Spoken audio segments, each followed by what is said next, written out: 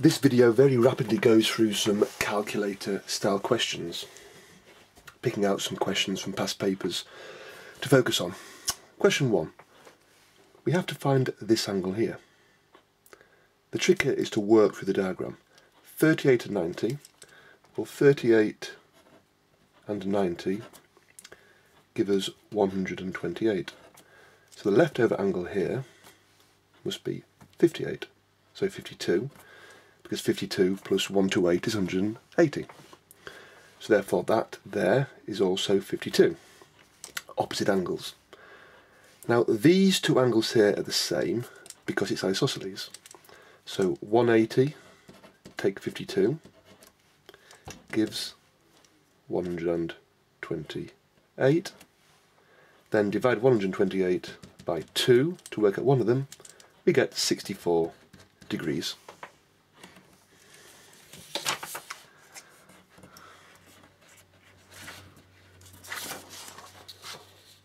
Question 2 is a fairly standard trial and improvement question. We've put 3 into the equation and found it's too small. So the next job is to put 4 in to the equation, work out 4 cubed minus 5 times 4, and we get 44. Now we want the answer 31, so this is too large. So we then try 3.5. We put that in to the equation and we get 25.375. Compared to 31, that's too small. So we work our way up. 3.6 gives us 28.656. That's also too small. We then try 3.7, put it into the equation, we get 32.153. Compared to 31, that's too large we have two adjacent values to 1 dp. One is too small, one is too large. But which one of those is closer to 31? This one here is closer to 31, or this one here?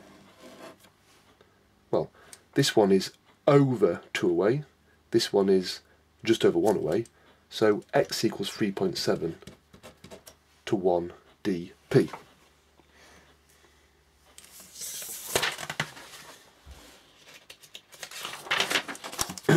Question 3 then tests a few basic area formulae.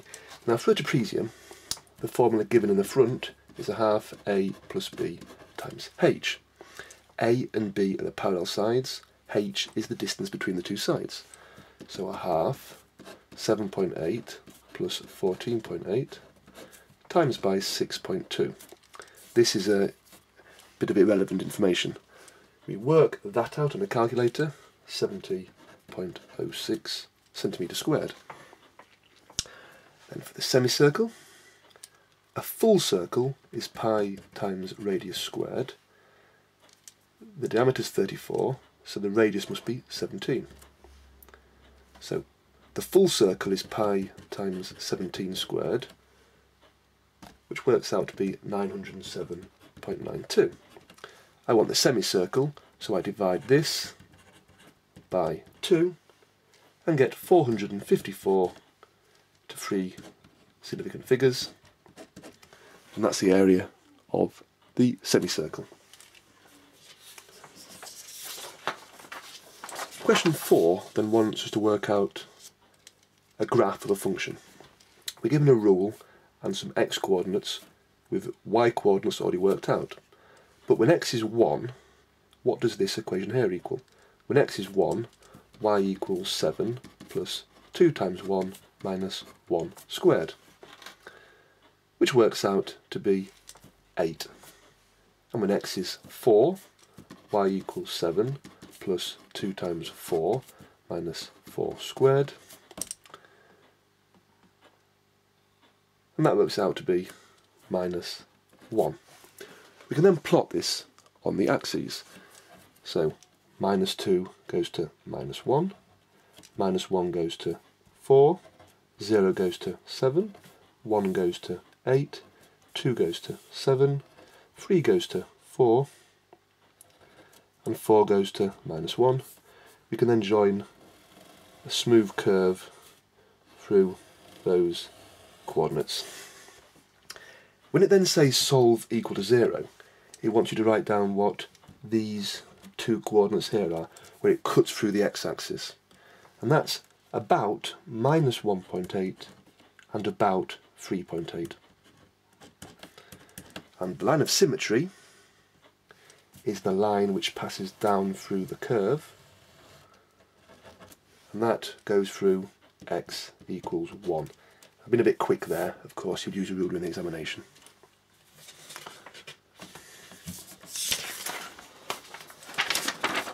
Question 5. Find x. In a parallelogram, these two angles here must add up to make 180. x and 4x is 5x, plus 15 is 180. Take 15 from both sides. 5x must equal 165. How many 5s in 165?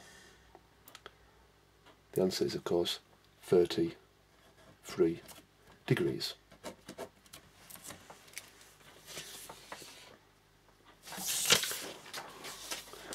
We then have some transformations to look at.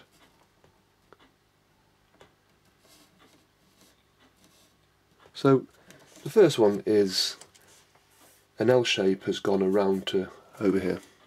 Describe fully that transformation. It's a rotation happening around the point 0, 0 and it's been rotated by 180 degrees.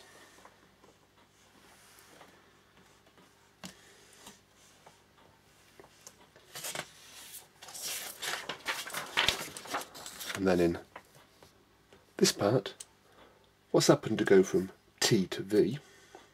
Well, t has become twice as big, but it's happened over here in the opposite quadrant. This is called a negative enlargement. Rather than be twice as big in that direction, it's sort of flipped around. So a negative enlargement, factor 2, it's been doubled, and it's happened about the origin. That is called the centre of enlargement. So enlargement, factor minus 2, with the origin as the centre of enlargement.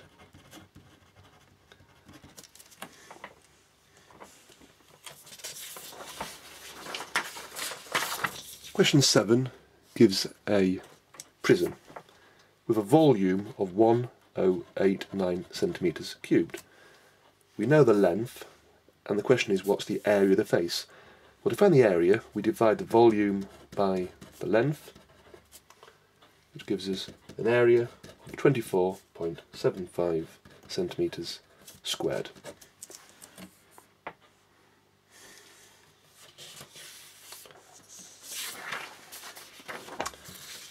Question 9 then looks at a number grid. This is a particular example, and here we want to generalise now this number here is n, this one here is 1 more, that's n plus 1. This is 2 more, n plus 2. That is 9 more, n plus 9. So why is the sum of all these numbers a multiple of 4? If we work out n plus n plus 1 plus n plus 2 plus n plus 9, we get 4 lots of n, n, n, n, and n. 1 plus 2 plus 9 is 12. This is the same as 4 bracket n plus 3. So 4 is a factor, therefore the answer is always a multiple of 9. Question 10 then does some algebra work. Expand and simplify. Well, 4 times c is 4c, and 4 times 1 is 4. Minus 3 times c, minus 3c, but now be careful. Minus 3 times minus 2 is plus 6. Then 4c, take away 3c is 1c. 4 plus 6 is 10. The answer is c plus 10.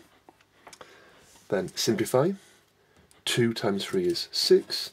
x cubed times x squared is x to the power of 5. y times y cubed is y to the power of 4. And then solve the inequality, equation solving, add 1 to both sides. 7n is less than 3n plus 6. take away 3n from both sides, 4n is less than 6. So n is less than 6 over 4, or n is less than 1.5.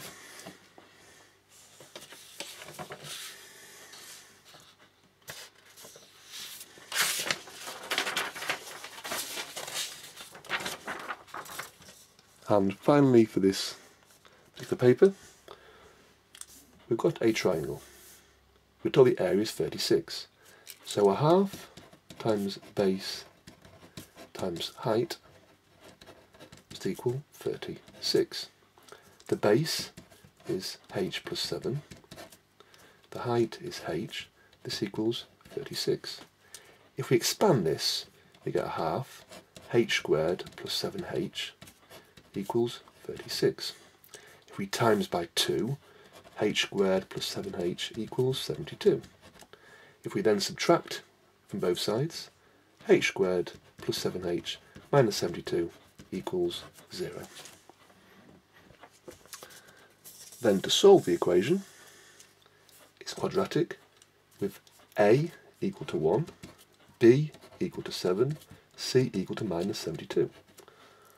So the height, h, equals minus b plus or minus b squared minus 4ac all over 2a, which equals minus 7 plus or minus the square root of 7 squared minus 4a minus 72, all over 2 lots of a. Which, if we then work it out on a calculator, 49 is 7 squared, take away 4 times 1 times minus 72, the bit under the square root becomes minus 7 plus or minus the square root of 337 all over 2. You work out the plus and the minus solution, but the negative 1 is a negative answer, so that cannot be h, it's the height of a triangle. The positive 1 works out to be 5.68 centimetres.